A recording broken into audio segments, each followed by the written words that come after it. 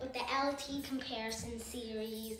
And we have our Liebherr excavator and bucket excavator two-in-one sorting machine.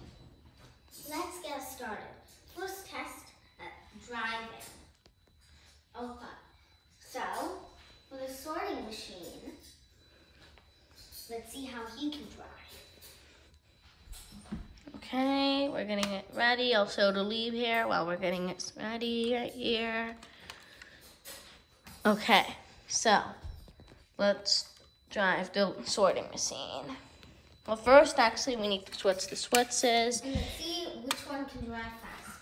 Three, One. backwards. Let's do the sorting machine. Cannot really. Okay. Obviously. The sorting machine obviously loses because we cannot turn with the sorting machine. The Liebherr runs really smooth. That's a really nice. That's really smooth right there.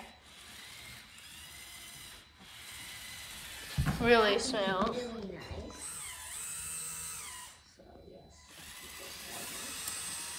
Really nice. Okay, so let's test. Test number two. Boom. Okay, so let's stop the Liebherr right now. And let's test the main up and down of the Liebherr. Okay. First test the Liebherr. That's really smooth. Now the sorting machine. No. That's smooth too, but.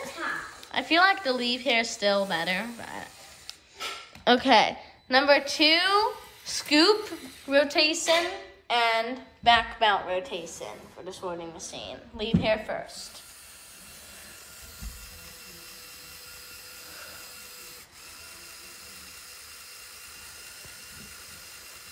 That is really nice, I'm just saying. That's like really nice, guys. Now sorting. No way that good. So, Liebherr wins.